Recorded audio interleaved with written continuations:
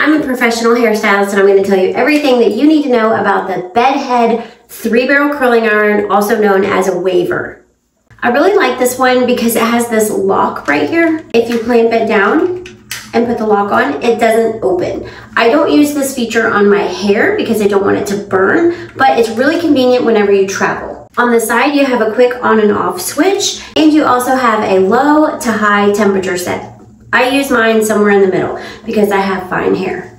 With this, you can get tight waves if you leave it on longer and take smaller pieces of hair, or you can get looser waves by leaving it on less amount of time, turning the heat down, taking bigger sections of hair, things like that. So this would be an example of a tighter wave.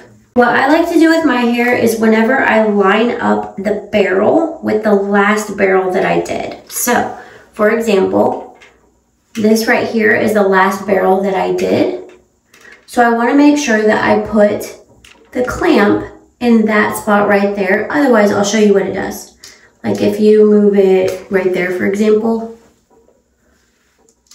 it'll redo that previous wave and it'll flatten it out. And that's not what you want because it was going up, now it's going down, so it made it neutral. I don't put a lot of science into it. In the front, I generally do it pretty quickly because I don't want it really, really tight like this. I would rather have it more loose. And I also like to leave the tail out because it gives that beach wave look. And this iron does not take long at all to heat up. I would say under 60 seconds.